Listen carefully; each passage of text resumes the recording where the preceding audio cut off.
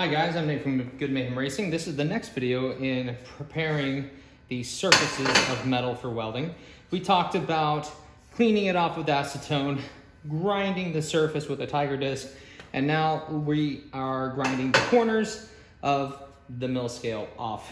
This is the after, this is the before. You can see that this still has the mill scale on there, but this is bright clean metal. I try to do it as gently as possible. This is uh, actually the same major process of tiger disking. It's just happening with a die grinder rather than your regular full-size grinder. Let me walk you through the process. This is kind of a continuous work. You're going to have the part held in place and then you're gonna spin it around with your hand like this. So get in a good position where you can stand and be comfortable and your goal is to go through this as gently and as fast as possible. You just want to get off the mill scale. You don't want to take away any wall thickness.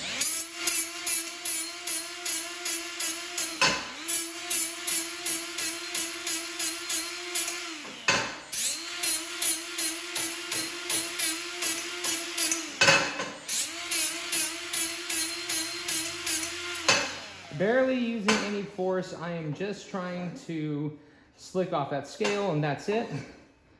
Here's the next side.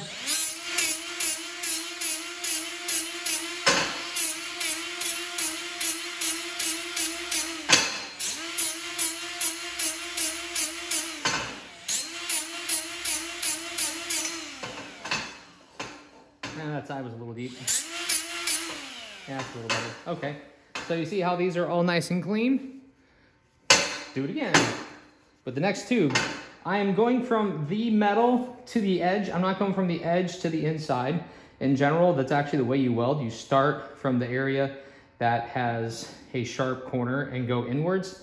In this case, with grinding, you go the other way. You start from the where you are most stable and you go to where you are least stable. You are least stable at this edge where you start falling off.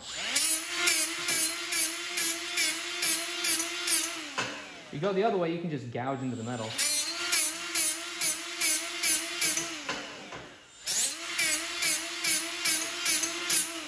Let me show you what it looks like going the other way. See how I'm a lot more inconsistent with my edge? This is a lot more consistent in comparison to that. It's all because I started from that area where I was least stable. There we go, that problem's fixed. And I already did that side. Flip it over.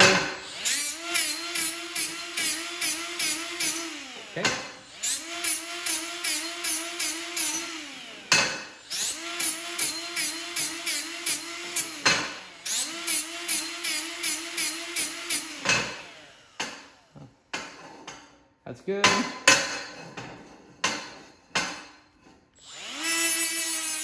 Get some of that no scale off. All right. Um, this tube is also done.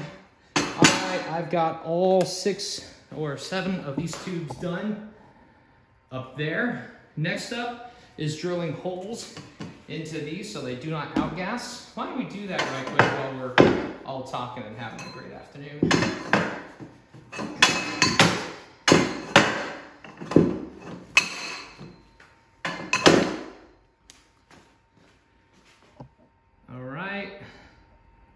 You drill into steel to prevent it from outgassing while welding. That outgas causes a lot of porosity, it ruptures a hole, makes it a pain in the butt to work with. So let's just drill some holes.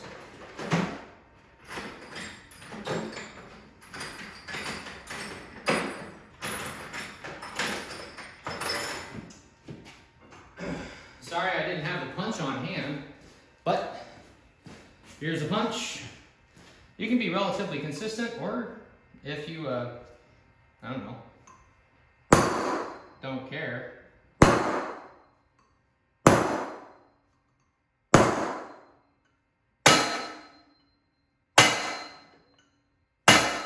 There we go. We have the center punch on all seven of our tubes. Let's drill it.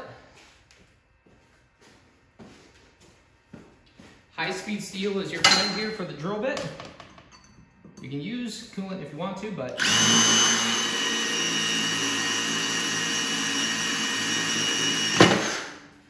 Let it cool off between each one of them.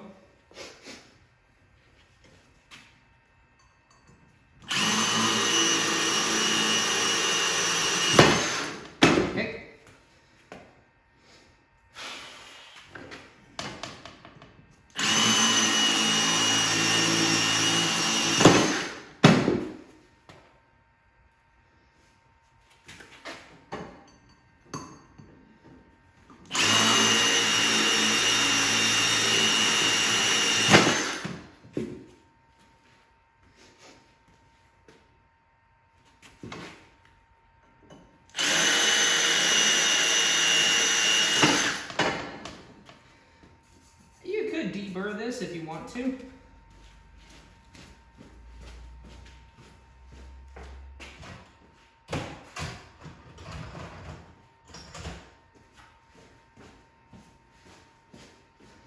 This is a little deburr tool that you can use by hand.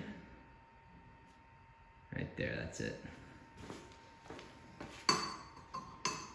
And just twist that around the hole. Just to clean it up tiny bit, just to clean up any sharp edges. Also do this one too. Great.